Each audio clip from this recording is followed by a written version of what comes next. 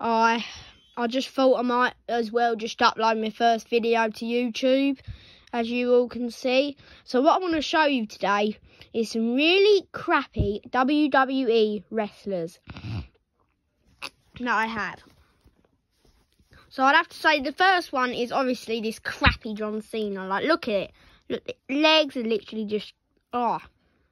And the arm does not, well, it does move, but I mean, like, and the hands are already gone. It's like a squishy. I don't know what this is, but it's just crap. Right, moving on to this terrible Brock Lesnar with no feet. Like, literally. One of my friends from school, actually, my friend from school gave me all of this. Like, literally, cannot live with it. This is the basic Brock Lesnar, and it just breaks on me. Like, that, that's what I just think, though. That's just crap in my collection. We have AJ Styles.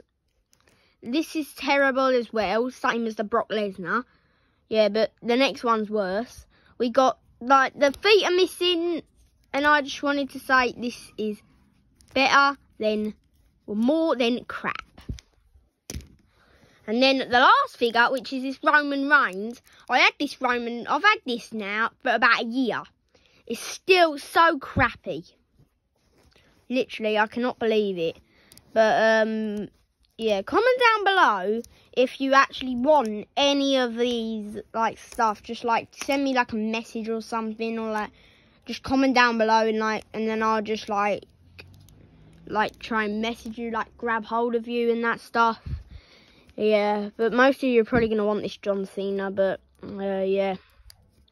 So, uh, I think I should end this here. So, I will see you the next time I post. Bye.